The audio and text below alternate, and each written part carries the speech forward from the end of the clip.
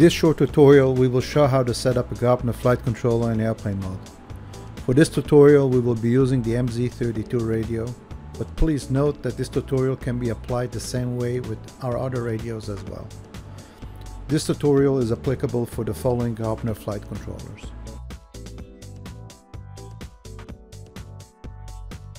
The Graupner airplane flight controller has basically four modes of operation.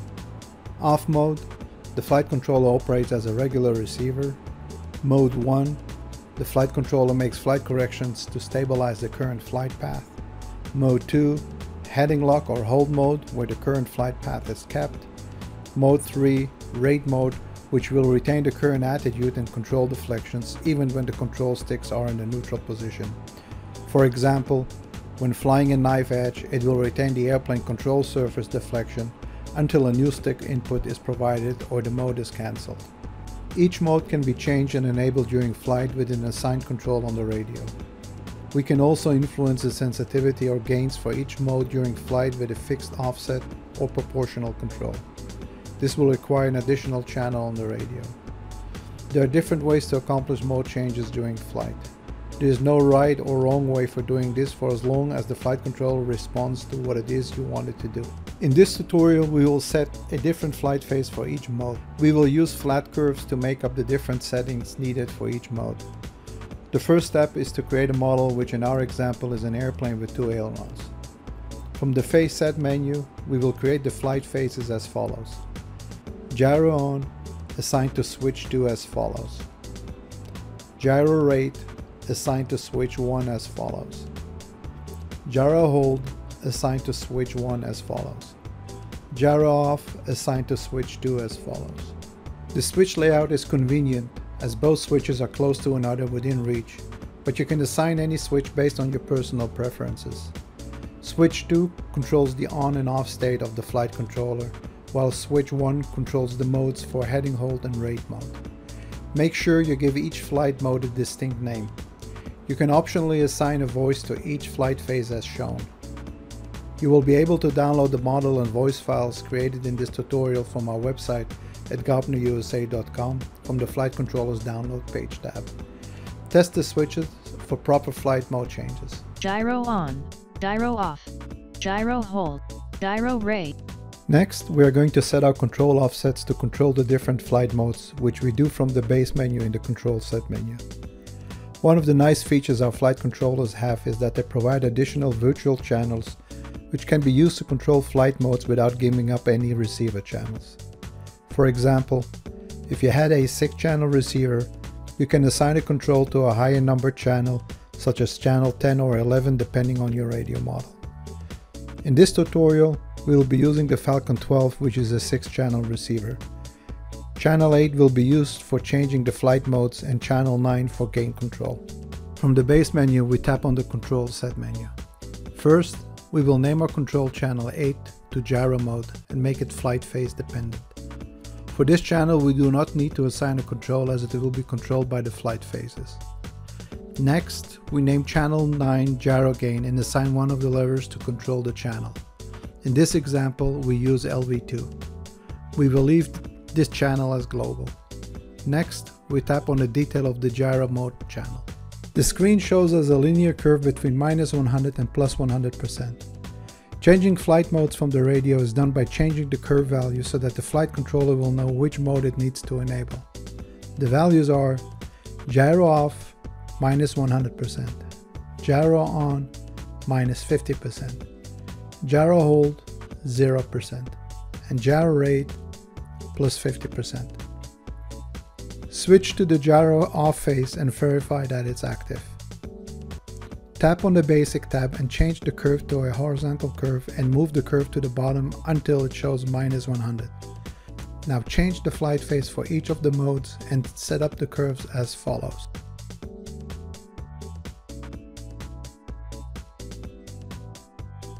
You can cross-check if all the values are correctly set from the servo monitor by reviewing channel 8, which is the gyro mode channel, and channel 9, which is the gyro gain channel.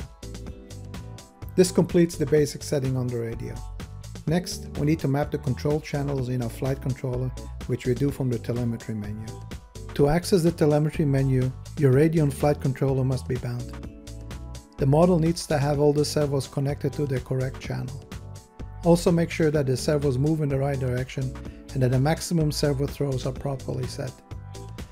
Press the telemetry hotkey or go to the telemetry menu and select the settings and data view. The first screen shows the current firmware version of the flight controller. Make sure the type of model shows plane and that the period field is properly set for the type of servos you are using. Use 10 milliseconds for digital servos and 20 milliseconds for analog servos. In case you are planning to use additional telemetry modules, you will need to designate channel 5 for telemetry input. With the down arrow key, scroll to the bottom of the screen and set channel 5 to sensor. Tapping on the right arrow key shows the free mixer menu. The purpose of the menu is to create mixes for special airframe configurations. The manual shows various examples you can use for your specific needs. Tapping on the right arrow key shows the gyro settings menu. On this menu we will map the channel controls made on the radio to the gyro settings.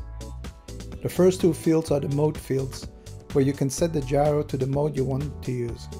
For example, if you would like to fly only in mode 1, which is stabilization, we will change that field from 0 to mode 1. We can do this by tapping on the enter key to select that field and arrow keys to change the values from the keypad. However, since we want to control all the available modes from the radio and be able to switch the gyro also off, we need to map the channel control keys we created earlier to make this happen. Tap on the keypad enter key and use the down arrow key until you see channel 8 on the display and tap on the enter key to select that channel. You will notice that next to the channel there is a number which represents the current mode, which in this case is 0 meaning flight controller off. Toggling switch 1 and 2 will change the modes. You can repeat the same for the rudder channel.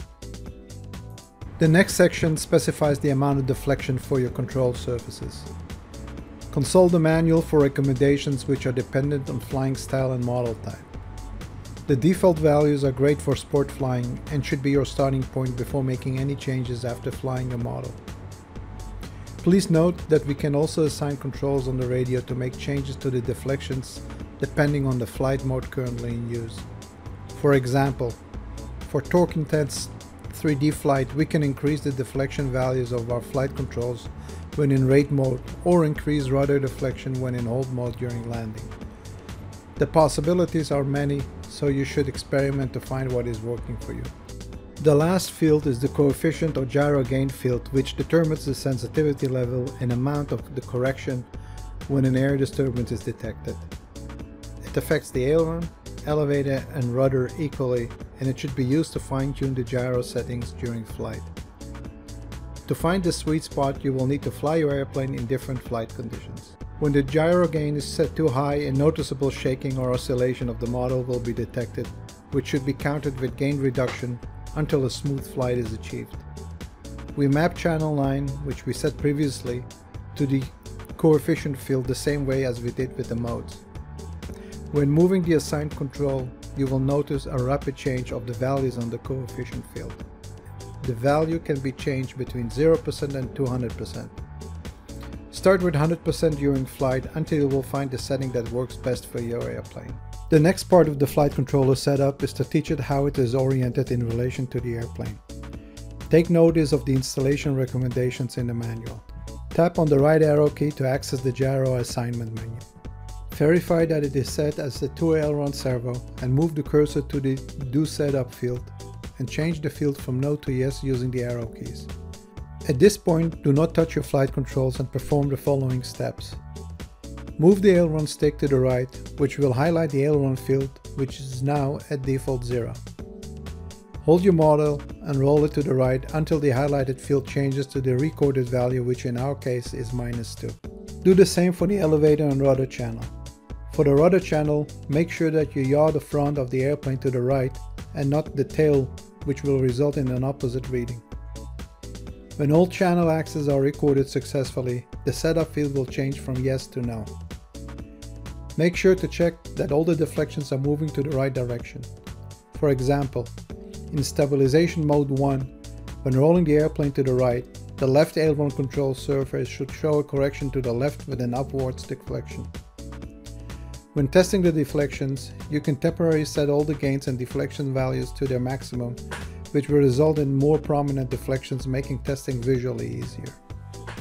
The last step we need to perform is to record the servo limits we have set on the radio so that the flight controller will operate within the mechanical boundaries the airplane has been configured.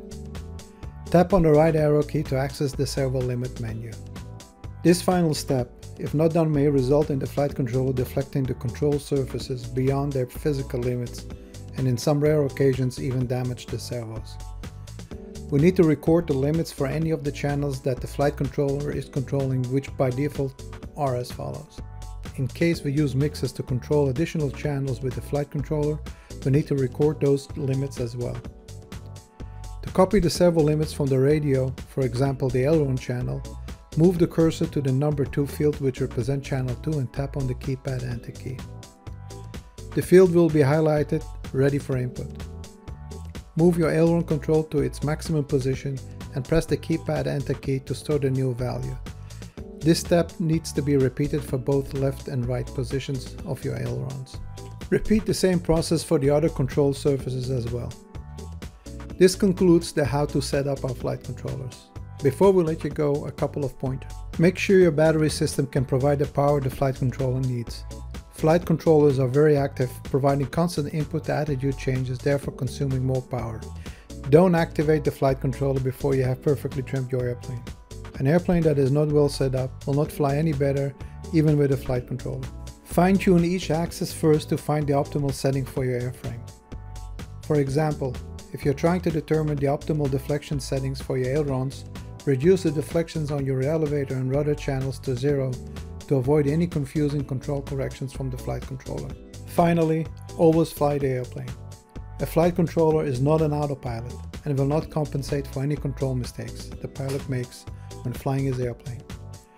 When properly set, a flight controller can do a lot of hard work for you and make flying easier and safer. We hope you enjoyed and found this tutorial useful in setting up Graupner Airplane Flight Controller.